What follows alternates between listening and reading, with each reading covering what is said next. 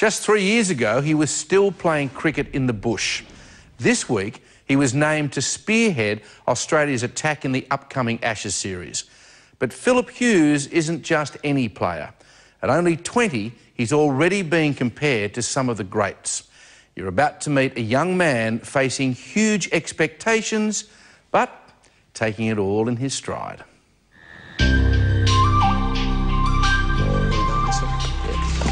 Question What does it take to make a champion? Answer Bananas. Heaps of them. 12 hectares, in fact. And Australian cricket's newest opening batsman, Phillip Hughes, collects his bananas like he collects runs. A quick strike and bountiful reward. And always with Dad by his side. Oh, Straight the bottom. Phil, do you reckon you'd be where you are in cricket if it wasn't for your mum and dad? No, definitely not. All the cricket carnivals, and Dad have to take off five, six days in a row off work just to cart me around. You know, sit in the car for five hours. It's been great, and It was um, all worthwhile. Yeah. You must be so proud, huh? Very proud of him. Yeah. But he was, he always thanked us. And when we get back home, he always, last thing he'd said was, thanks, Dad, you know, so, so that was really appreciative. I'll, I'll be in flip. But it was here in the family backyard where young Phillip really learnt his trade, including an encyclopedic knowledge of the rules. if you hit the close on, um, it was 25 runs, automatic. If you hit it on the full, it was 50. so that's what we, we always used to aim at that. But we had the side fence here. Um, it was two, two runs on the bounce or roll. Uh, on the full was four. Have a look at the dents. Yeah, there's a few dints along the side. the back fence was four. You were excelling at nine, playing in the under 12s. By 12, you were playing 16 year olds. At 16, you were playing 19 year olds. How has that helped you? I've always been the youngest and playing guys that are always older. Um, they don't they don't step back on you. They, they'll come on the front foot with you and, and they'll uh, give it to you. And that's probably gave me a lot of confidence. Barely 20, he's still taking on the big boys, only now on the world stage. In February, he replaced the mighty Matthew Hayden as opening batsman on tour against South Africa. To receive my baggy green off Ricky Ponting uh, the morning of the first game, you know, it was unbelievable and uh, I was actually shaking when I received it and I, I was speechless. Oh, I just flopped on the bed, I did. I was very excited for him. Um, we were over the moon, actually, and we just... then we started to jump up and down, and it was just wonderful. And then he stepped out to bat. You're in Joburg in, in South Africa. Your mum and dad are over there on their very first overseas trip. Uh, the whole town of Macksville is, is, is rooting for you. The pub's chock a block, and you get a duck. Oh no! What a way to start! How did you feel? It couldn't have happened any worse. Desperate moment from Phil. I don't know how to describe it. You know, there was We just- hurt and disappointment and, We just sat you there know, and we swallowed. felt for him. But I mean, I, I took the view then, let's cricket, you know? The, the, the Yarpies were merciless in their, in their sledging on you because they were saying that you were no Matthew Hayden. They, they didn't miss. Uh, it was actually after that first game they come out and said a lot of things about, you know, I run away from the ball and he's no Matthew Hayden or Langer or, or this type of thing. So that made me hap- very hungry for the second test.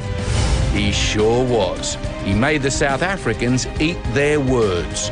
In the next test, not only did he smash 115 in the first innings, but he backed that up with 160 in the second, becoming the youngest cricketer in history to hit two centuries in the same test. Justin Langer calls him the smiling assassin. You like that? I love it. I love it. The smiling assassin just kept smiling at them. Definitely, uh, you know, that's all I could do, walk down and smile at him. Back in the northern New South Wales town of Macksville, it was a very Aussie homecoming for this hometown hero.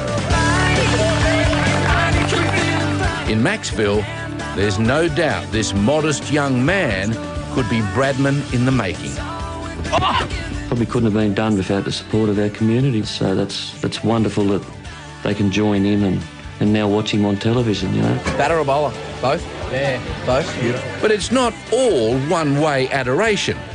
This bloke will never forget where he's come from.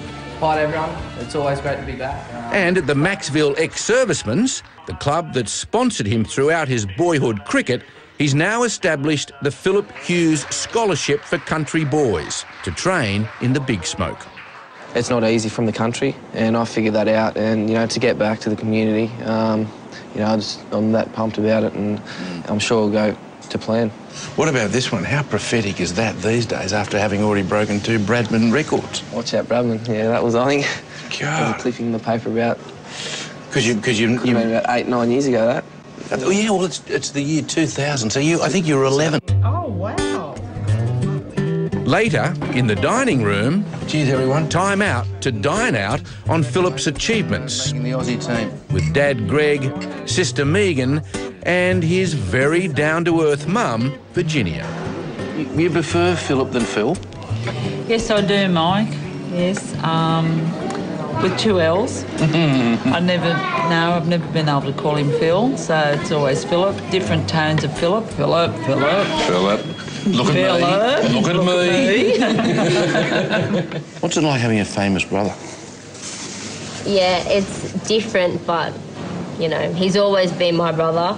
It's pretty cool to have him on the TV and the papers and everything. And at school, a few more people talk to me, but um, nah. It's he, he'll always be Phillip to me, and yeah, I love him heaps. So Oh, that's I'm lovely. very proud of him. So yeah. On the full of the back fence was six. Uh, we had the chook pen, uh, that was six. On the four, on the rolls, uh, on the bounce was four. We had this little garden patch here, that was uh, that was two on the bounce. In a year or so, he could be earning up to half a million dollars a year. Probably a household face in Australia and, and famous in other countries. Could all of that change him? No, no, I don't believe so. You know, he's there to play cricket. And I, I, I don't think it'll change him. You know. Because of his foundation too? Yes. His family? Yeah. Yeah. So the boys give you a hard time over your over your diamonds in your ears, the country boys? Yeah, when I get back there, there's a Do bit of cheek there. What do they say? Oh, turn in the city boy now, have you? That's one thing he reckons he'll never turn into. Big paydays may be just around the corner, but the land is in his heart and soul. If all goes to plan, um, that's what I want to do with my dad. Is to hopefully get a pretty big property and get Angus stud cattle on there. And you know, that's my dream, the next little dream.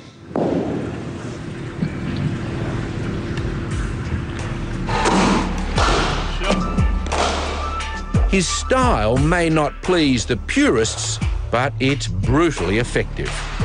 His boyish looks masking his ferocious intensity and concentration. Greg, if you had to sum up what that something special is that Phillip has, what would you say?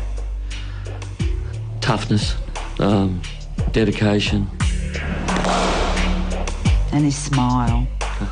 Well, we know where he gets that from, Mother, don't we? the Steve Waugh medalist for 2008-2009, Phillip Hughes. All through his career, Phillip Hughes has been two and three years ahead of his age group, always leapfrogging the rest. And now he's right where he wants to be. Would maybe the ultimate dream be to captain Australia? Oh, definitely. You know, growing up as a kid, you know, you, you love to, but uh, you know, I'm happy playing. You know, it's just a great thing. I'm happy where I am. Age of 20, um, couldn't be happier to be honest. But you know, hopefully it may be one day. But you know, it's something I haven't thought about. Yeah, Well, Phillip, good luck and keep smiling at him. definitely. Thank you. Thanks a lot.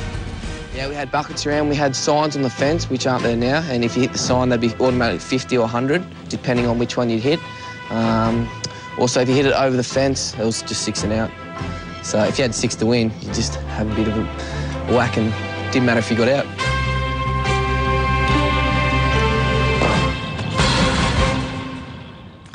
And Phillip has already put the Poms on notice while playing county cricket in England. His run rate has been greater than Don Bradman's during his first tour there in 1930.